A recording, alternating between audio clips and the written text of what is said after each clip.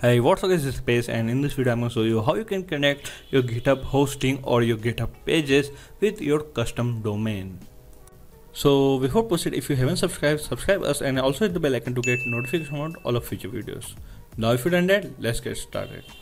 So this is the part 2 of my previous tutorial and in my previous video I already show you how you can create your website with the github hosting. And if you don't know how you can create your lifetime free hosting with the github then you can watch my previous video from the link in the description or or you can also click on this top right corner and you can watch my previous video. So first of all you need a github hosted website or github uh, hosted pages. And if you don't know about that then you can watch my previous video so once you create your website next you need your domain you can get a custom domain from any website doesn't matter at all you can go for the godaddy bigrock and hostinger or any domain provider for this video I am using freenom.com. Freenom.com is the website which provide you a free domain. It, this website will not provide you domains like .com, .in and for from this website you will get domains like .tk, .ml and something like that. So it doesn't matter at all where did you get your domain, you just need your domain.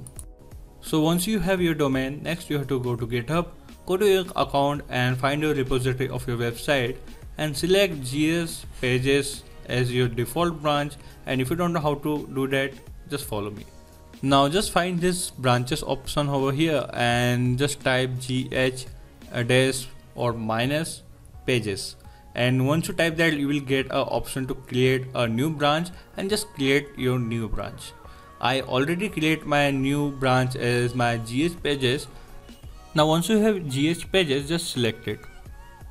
And now make sure that your GH pages is your default branch. And to make it default just go to settings find branches click on this default branch and select GH pages as your default branch and update it so once you've done that just go to your repository select GH pages as your default branch and now here you have to create a new file now click on this create new file now here just type your new file name as cname all in caps and type your domain name here and just click on commit new file. So once you done that, now go to your domain provider. Now select your website and just find something like manage domain or manage DNS. Now in Freenom website here you will get a manage Freenom DNS. Now select this option and if you are using any other service provider like uh, GoDaddy or anything like that you just have to find manage DNS option so once you get your manage DNS option here you have to add few things now first of all you have to add CNAME now I will explain all these things later first of all let me add all these things now under the CNAME section here you have to type your github domain name and set TTL as, as minimum as possible. The valid minimum TTL option is 300. Now set your target as your custom domain, whatever domain you are using.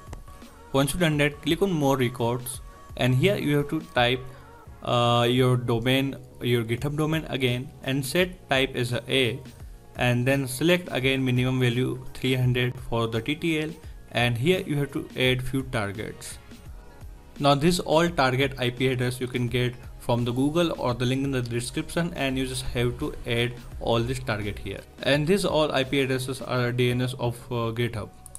Now here you have to add all this DNS provider IP to your domain provider's DNS management system. So once you add all the DNS record and just click on save and this all the things will be saved and now you have to go to your github account again. Now go to settings and go to all the way down and find github pages and here you have to add a custom domain. Now just go to this custom domain section and just type your new custom domain and click on save now you have to wait uh, maybe 5 minutes maybe a 1 hour or maybe a whole day. So once you wait up to a 24 hours not more it will not take uh, more than 24 hours to update everything. So once you done that whenever you try to visit your visit your website with your github url it will redirect you to your uh, custom domain. And whenever you are try to visit your website with your custom domain and it will open your website. And that's it about this github hosting and that's it about how you can connect your custom domain to your github hosting. Now if you want explanation of this video then watch this video continue. Now first of all we added a cname file in our repository of our website which tell github.com that uh, whenever someone try to visit our username.github.io you have to redirect that url to your custom url or custom domain.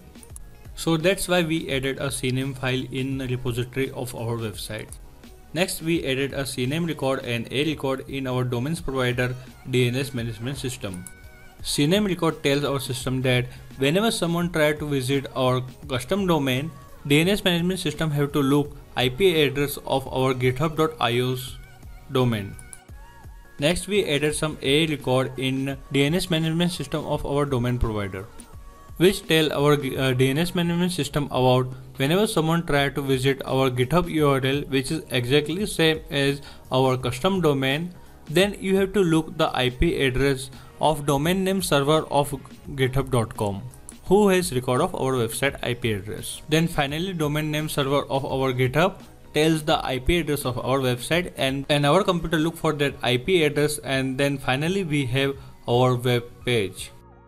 Now as a human we can't remember the IP address of uh, all the websites so we just enter the URL of website and then request go to somewhere on the internet and then finally the request go to a registrar of our domain then registrar of our domain tells the IP address of our website where our files of our website is present then finally we look for that particular IP address and we get all the files present in that IP address which is our website. This is how DNS works. So guys this is for this video. I hope you like it. Don't forget to subscribe and also hit the bell icon to get notification to all of future videos. And if you haven't followed me in my social media then you can follow me in my social media from the link in the description of video. And this is Dipesh signing out. Meet you soon in my next video